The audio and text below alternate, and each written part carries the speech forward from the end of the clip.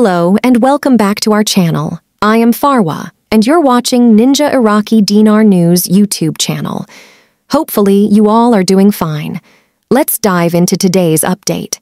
The exchange rates of the US dollar against the Iraqi dinar saw a decline on Sunday in both Baghdad and Erbil, the capital of the Kurdistan region, KRI, upon closure. Let's take a closer look at the numbers.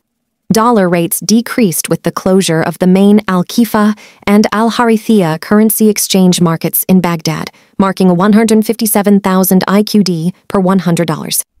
This was a decrease from 157,450 IQD per $100, reported earlier in the day. Furthermore, the selling prices at local currency exchange shops in Baghdad also experienced a decrease. The selling rate now stands at 158,000 IQD per $100, while the buying rate is at 156,000 IQD per $100. In Erbil, we also witnessed a decline in the dollar exchange rate.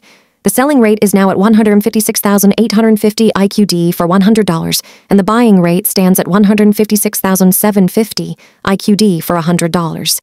With these fluctuations in the exchange rates, it becomes crucial for individuals and businesses to stay informed and keep track of the evolving market trends.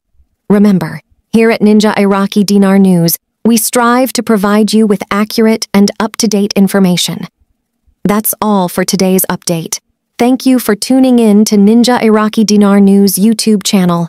Make sure to subscribe and hit the bell icon so you never miss any of our future videos.